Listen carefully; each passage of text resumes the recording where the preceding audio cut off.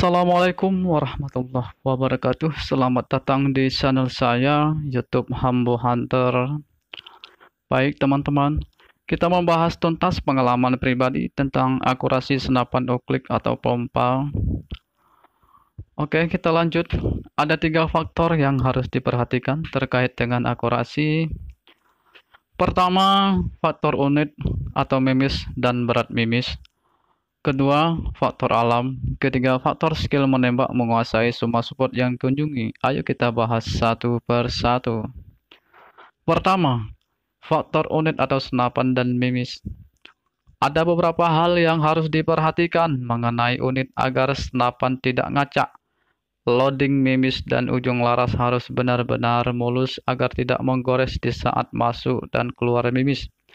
Usahakan di saat memasukkan mimis jangan sampai rok dan kepalanya tergores kecuali sudah ditembak. Dan itu wajib diperiksa apakah mimisnya mendapatkan guratan alur yang sempurna. Bila ada guratan tidak sempurna maka lakukanlah pembersihan dengan bensin atau yang dibasah pada secerik kain yang muat ke lubang laras dibantu dengan tali paralon dan lain-lain. Atau gunakan alat pembersih laras yang sudah dibuat khusus oleh pabrik seperti gambar di samping ini. Selanjutnya, perhatikan dan periksa seal atau karet grendel dan seal atau karet lubang transfer angin agar benar-benar mulus dan presisi. Hal ini bisa menutup angin rapat-rapat agar tidak merembes di saat menembak. Seal yang presisi sangat berpengaruh terhadap power dan akurasi karena angin bisa keluar dengan full dalam laras dan bisa mendorong mimis dengan powerful. Selanjutnya, tentukan mimis yang akan digunakan dan sesuaikan dengan power senapan kita. Setiap mimis memiliki berat yang berbeda dan jatuh di titik yang berbeda tergantung power senapan kita. Misalnya kita lakukan zero di titik 25 meter dengan pompa 7 kali menggunakan mimis 10,34 green. Di sini aku menggunakan spot on dome. Oke, kita cross di titik 25 meter. Kemudian tembakan miring 15, 20, 25 derajat. Otomatis jarak bertambah, bervariasi, mimis jatuh, grouping, setengah dot di bawah cross. Berikut tembakannya.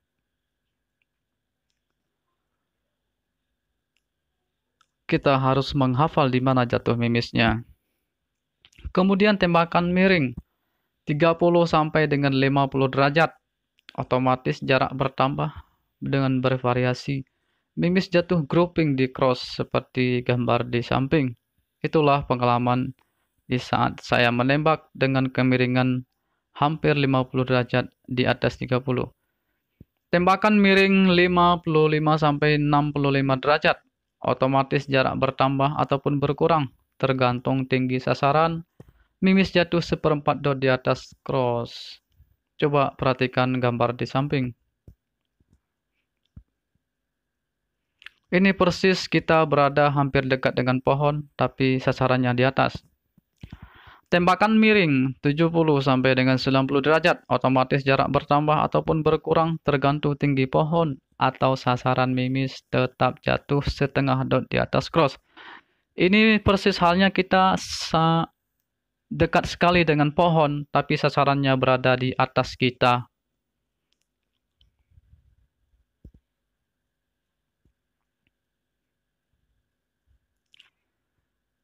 Pertanyaan, bagaimana kalau menembak pada jarak 35 sampai dengan 50 meter di atas zero wing?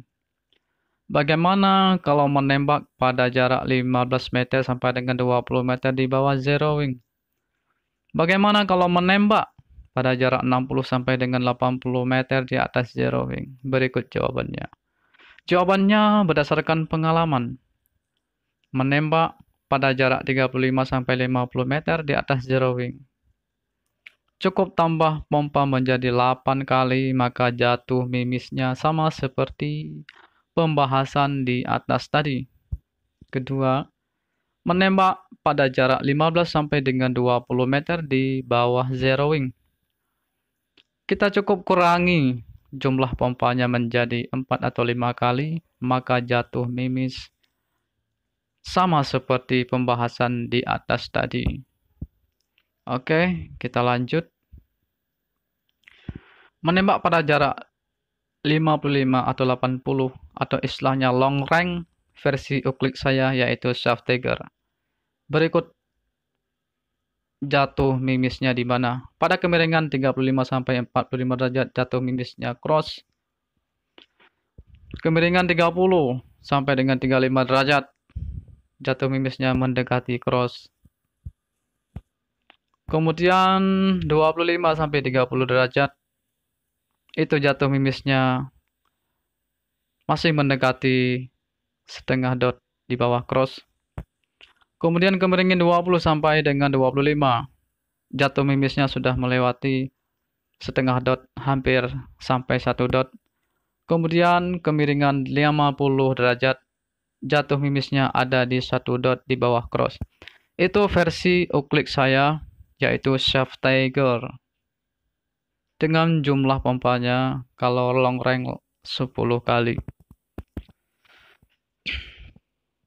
Perlu kita ingat bahwa tembakan yang sama jaraknya, tapi beda kemiringannya, maka jatuh mimisnya juga berubah. Untuk itu kita harus menghafal jatuhnya mimis dengan reticle teleskop yang kita sandingkan di senapan kita. Kita, kita tidak perlu mengubah-ubah, tapi kita cukup menghafalnya saja. Sudah sangat sempurna. Kedua, faktor alam. Berbicara faktor alam, mungkin kita tidak sanggup mendeteksinya. Seorang penembak jitu dia tidak mau gagal saat membidik sasaran dan selalu memperhatikan tingkat kelembaban udara, arah mata angin, dan gaya gravitasi bumi. Terkait dengan hal tersebut, kita hanya mirip seperti mereka. Kita bukan sniper, guys. Di jarak yang sama, dengan power yang sama, tetapi kemiringan menembak berbeda, maka mimis jatuh di titik yang berbeda juga. Sebagai contoh, kita menembak sasaran di batang kayu. Tembakan lurus, naik, dan naik lagi, dan lebih naik lagi. Maka ada perbedaan jatuh mimis di sana. Jangan menambah pompa, tetapi hafal saja di mana jatuh mimisnya. Kemiringannya tertentu, kecuali tembakan jarak jauh 60-80 meter, maka cukup pompa maksimal 10 kali saja, supaya jatuh mimis tidak terlalu turun tapi itu tergantung selera kita. Ketiga, faktor skill menembak menguasai semua spot yang dikunjungi. Faktor ini yang sering membuat para penembak jadi pusing, panik, juga kesal di arena. Semua bisa terjadi di luar dugaan dan menyimpang dari rumus yang sudah kita hafal. Untuk mengatasi hal tersebut, diharuskan pada kita agar tetap fokus pada sasaran, teleskop, dan detik-detik saat menarik trigger. Harus benar-benar santai dan tenang. Oke, selanjutnya. Membidik yang salah dan pasti meleset. Coba lihat gambar di bawah ini. Bingkai sekelilingnya tidak presisi. Posisi teleskop optiknya tinggal di tengah. Ada mereng ke kiri, ke kanan, ke atas, dan ke bawah. Ini pasti meleset. Jangan terburu-buru. Tetap fokus pada sasaran dan teleskop. Inilah tampilan teleskop dan sasaran yang benar. Kita harus membuat teleskop itu pinggirannya harus benar-benar sama biar jos gandos. Kalau begini pasti sudah oke. Okay. Sekian dulu, semoga bermanfaat. Mohon maaf atas segala kekurangan. Salam satu laras dari Aldi. Assalamualaikum warahmatullahi wabarakatuh.